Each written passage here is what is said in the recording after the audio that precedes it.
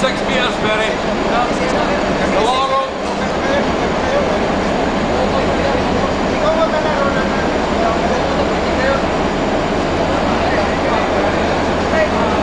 So here's the lads now, we've got the raft on the well test deck and we're pulling the painter out. We'll inflate it